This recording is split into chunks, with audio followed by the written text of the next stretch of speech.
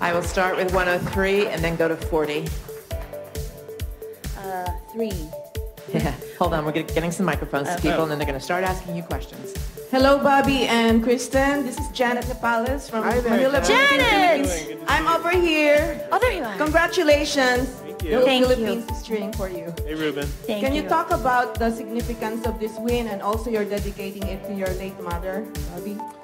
Well, um, my mother passed away in, in August of this year, Kathy Lopez. She, um, she was the, the main force in my childhood um, who, uh, who encouraged me to play the piano and to write music and to go for my dream. And she pushed me as hard as she could. And She told him if he didn't practice, she would make him eat the piano. yeah. Um, and, uh, and so I really, um, this song is about leaving people you love, and, and that's what happened to me this year. She was taken from us. And so this song became an expression of that. It was already written, it wasn't about her, but we sang it at her funeral, and it was very helpful for me in healing. We're going to 40 and then 104. Hi, in the back. Hi. Carlos Aguilar from Remezcla. I just wanted to know, uh, were there any specific uh, Mexican music styles that inspired the song? and Any specific Mexican cultural beliefs that inspired the lyrics? Um, well, we were looking at the Rancho Bolero style, um, Bolero Ranchero style, I always, uh, and um, we were also looking at Jorge Negrete and Pedro Infante and, and the, the crooners of the 30s and 40s, um, specifically from Mexico, that, that sort of inspired the Ernesto de la Cruz version. Um, and uh, what just happened? Um, and and we worked with Camilo Lara as a musical, a Mexican musical consultant, and he is also known as the Mexican Institute of Sound, and he took us through basically a college course of Mexican musicology to prepare us to work on this. We're going to 104 and then we'll come down to 229. Congratulations, guys. This is going to be a ha- this is getting to be a habit. Uh, can you talk about how it feels to, to win for a second time in a few years, and also for a song that resonates with countries from all over the world that honors the traditions for remembering the dead? We didn't uh, dare to dream that we would ever be nominated or win again. It's very, very nice to be back. It's four years later. It was raining yesterday, just as it was four years ago.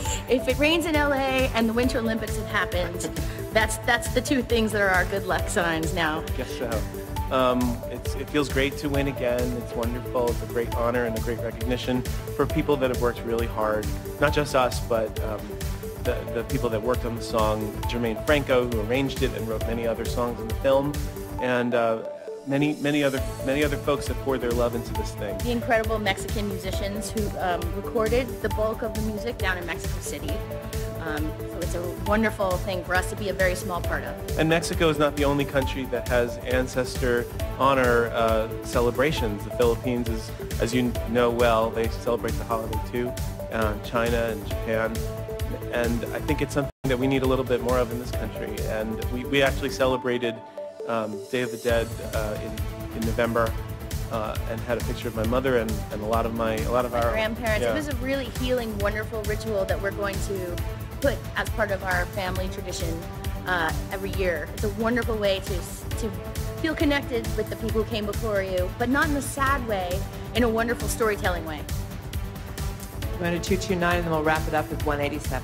Hello, Robert. Congratulations to you. both of you. Thank you. Uh, by, I wonder, Robert, by any chance you speak Spanish? I don't. I'm uh, I'm Filipino. My my grandmother spoke Spanish. My dad didn't. He was born on a boat on the way from the from Manila, and uh, and so I never uh, learned, and I, it's one of the great regrets in my life. What is, uh, uh, what would you like to say to those uh, immigrants, people that look at you as an example? I um, I've always felt other in this country, even though I was raised very assimilated, and I I just if it's if if our success can help someone pursue their dream, I know that examples play a huge role, and I want to encourage every brown kid to to pursue their dream, just like my mom did to me. And we'll wrap it up with 187 to your left. Thank you. Hi, I'm Salvador from Mexico. Hey. Hi. Uh, how are you? Congratulations. I want to know what is the most amazing gift that, that this adventure gave it to you as a person, this adventure in the culture, Mexican culture tradition. Um, as I mentioned before, I think that from now on we will always celebrate Day of the Dead in our family, like Christmas, like Hanukkah, or, or like Halloween. Um, Day of the Dead has become part of a, a healing process in our family because loss is inevitable, and um, it's a, it's a, you know, this year was a very hard one for us, and it was so healing, and I want to pass that tradition on to our daughters. Thank you. Thank you Thank so much and congratulations. All right.